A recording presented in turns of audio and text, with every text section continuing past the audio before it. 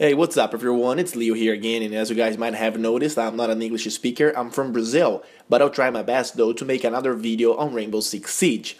Today let's talk about the smoke grenade. This item is very underestimated, especially among the casual players. In general, people would rather go for the breach charge or stun grenade over the smoke one. When I started to play this game, I used to have this choice as well. Now I have seen how incredible the smoke grenade is. And I have watched some Pro League matches and the pro teams, they use it all the time.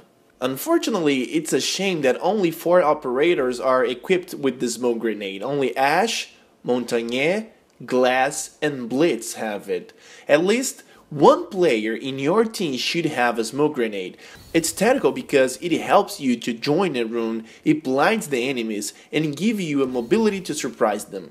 It also gives you a safe path when you have multiple entrances. For example here, at the right side you could have enemies waiting to kill you. Throwing a smoke grenade right there at the door opens a gap for you to run. The enemies would not see you when you're moving. Another example here, you can close more than one enemy field of view to move safely. It's very helpful, especially when you're in a rush, when your time is about to end.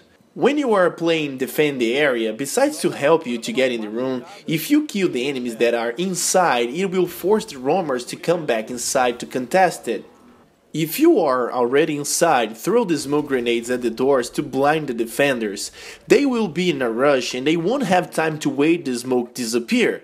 They will get in desperate and you will be waiting for them, so it will give you a lot of advantage. On hostage, you can throw smoke grenade on the hostage. No one would dare to shoot towards him. IQ, for example, could see through the smoke, grab the hostage, and run away. It's really sneaky tactic. I've done a couple times, and it has worked. On bomb, I would say it's the best strategy. It gets even better when you have a shield at the team. Throw a couple smokes to build a blind. The shield move forward to provide cover to the team. Another player might carry the bomb and plant it right behind him.